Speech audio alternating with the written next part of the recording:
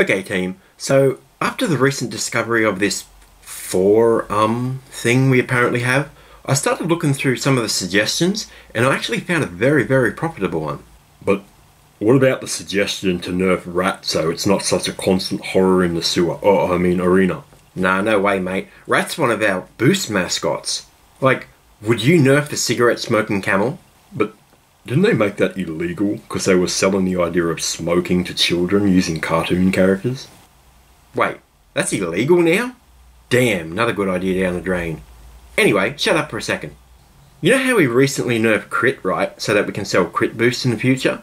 And then we nerfed rat swapping so it doesn't bypass armor anymore, so then we can start selling armor boosts? Oh yeah, mate, that idea was as brilliant as it is sickening. Well, when these armor boosts infest the arena, right, and every single dinosaur has armor, you know what we can do? What? Ah, I'm glad you asked, mate.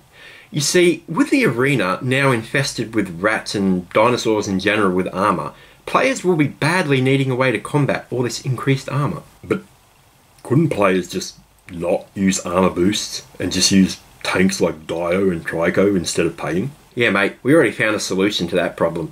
All we had to do was make Anki only dartable one day a week on Sundays, so then no one can unlock them, and pretty much have to buy armor boosts.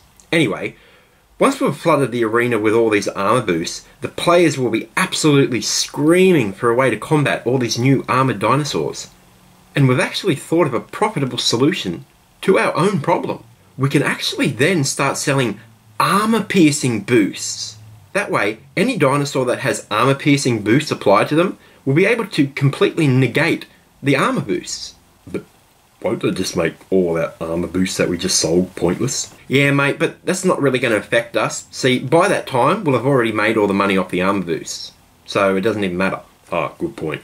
Anyway, I was checking out the forums for the first time today, and I noticed a ton of members have been calling us incompetent for all our constant stuff ups and lack of fixing non profitable bugs and such. So, should we start replying to them? Nah, mate. As my teacher used to say, it's better to say nothing and let them assume you're an idiot rather than open your mouth and remove all doubt.